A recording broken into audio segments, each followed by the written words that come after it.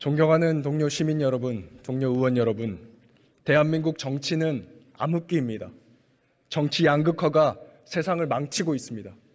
국민의 입장에서는 나를 대표하는 사라가 대표가 사라졌습니다. 국회의원 300명 중에 내 처지를 대변하는 사람이 없습니다. 전 국민 무대표 상태, 정치 실종의 상태입니다. 지금 국민의 삶이 어떻습니까? 15.9% 고금리에도 50만 원 대출을 줄 서서 받습니다. 전세 대출이자 월 60만 원 내던 사람이 200만 원 내고 있습니다. 주머니에 쓸 돈이 없습니다. 출생률은 세계 꼴찌고 기후위기로 동물은 때로 죽고 있습니다. 이대로 가면 대한민국은 멸종합니다. 이걸 막을 힘은 정치밖에 없습니다. 대한민국 수천만 명이 1년 내내 일해서 번 돈, 거기서 거둔 세금 600조 어디에 어떻게 쓸지 정하고 100만이 넘는 공무원들 어디 가서 무슨 일 해라 지휘하는 것이 정치입니다. 그런데 우리 정치는 이 큰 힘을 가지고도 국민 삶을 지키는데 집중하지 않습니다. 반사이익 구조니까요. 대통령이 양곡관리법 거부하면서 문재인 정부 때는 왜 안 했냐 이러면 그만입니다. 노란봉투법, 진짜 사장교섭법 거부할 때도 마찬가지일 겁니다. 반사이익 구조니까요. 상대만 못 찍게 하면 선거 이기니까요. 제 소속 정당도 마찬가지입니다. 대일 굴욕 외교 그 참담함을 반복해서 폭로하면 그만인 것이지 더 나아가서 새 시대의 외교 전략 그 대안을 말하는 데까지 나아가지 않습니다. 세상에 이렇게 쉬운 정치가 없습니다. 남의 말에 조롱하고 반문하고 모욕 주면 끝입니다. 고소고발하고 체포동의안 보내고 악마화하면 그만입니다. 반사이익 구조니까요. 그래서 대한민국 정치에는 일 잘하기 경쟁이 없습니다. 대안 경쟁이 없습니다. 문제를 방치합니다. 200만 농민, 100만 하청 노동자의 생활고는 버리고 갑니다. 앞으로도 그럴 겁니다. 그래도 선거 이기는데 지장 없으니까요. 그런데 그렇게 선거 이기고 나면 뭘 할 수 있습니까? 2008년도에 한나라당이 단독 과반을 했습니다. 민주당이 2020년에 180석을 했습니다. 그래서 각자 4년 동안 뭘 이뤘습니까? 개혁을 했습니까? 독주 프레임에 걸려서 시간만 낭비하지 않았습니까? 혐오는 방향을 가리지 않습니다. 전 정권에 대한 혐오를 기반으로 당선된 대통령이 지금은 가장 큰 혐오의 대상이 되어 있습니다. 앞으로도 마찬가지일 것입니다. 지난 15년간 성공한 대통령이 있기는 합니까? 이제까지 수천 명, 수천 명의 국회의원들이 나왔지만 그 중에 성공한 국회의원들이 과연 몇이나 됩니까? 국민 여러분, 이것은 절망의 정치입니다.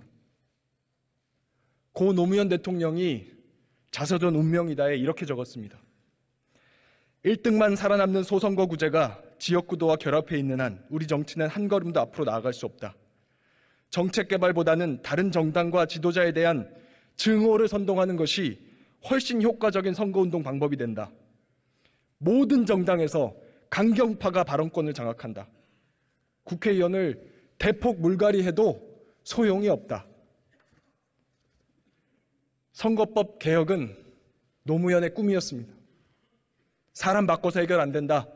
선거구조 안 바꾸면 대한민국 정치는 계속 동네 싸움에 불과하다. 이미 20년 전에 답이 다 나온 문제입니다. 그런데 지금까지 해결을 못한 이유는 딱 하나. 양당의 기득권 때문입니다. 탐욕의 위성정당이 대표적인 사례입니다. 저부터 반성합니다. 국회가 다음에 하자, 다음에 하자. 이렇게 20년을 미루는 동안 이제 증오와 혐오는 지역주의를 넘어서 세대와 성별, 정치 성향 전반으로 번져버렸습니다. 더는 방치할 수가 없습니다. 그동안 소진한 사회적 에너지가 도대체 얼마입니까? 1700만이 넘는 촛불 시민들의 무너진 자부심은 뭘로 보상할 겁니까? 이번에 어떻게든 이 악순환의 고리를 끊어내고 가야 합니다. 이번 선거법 개혁의 핵심은 정치 다양성 확보에 있습니다. 정치가 싸움만 하지 경쟁이 없습니다. 종의 다양성을 확보해서 경쟁을 되살려야 합니다. 김부겸 정도 되면 대구 출마해도 당선이 되고 유승민 정도 되면 공천 안 줄래 안 줄 수가 없는 선거제도를 만들어야 합니다. 호남에서도 유권자들이 직접 후보를 선택할 수 있는 선거제도 만들어야 합니다. 그런 효과만 나는 선거제도라면 어떤 것이라도 찬성하겠습니다. 그렇게 해야만 정치 양극화가 해소되고 반사이익 구조가 깨지고 혐오 전쟁이 멈춥니다. 다양성은 강합니다. 다양성은 유리합니다. 다양성을 통해서 한국 정치를 멸종해서 구해 주십시오. 그리고 한 가지 더 선거구를 키워서 큰 정치인을 길러 주십시오. 현행 선거구제는 국회의원, 시도의원, 구의원, 군의원이 거의 차이가 없습니다.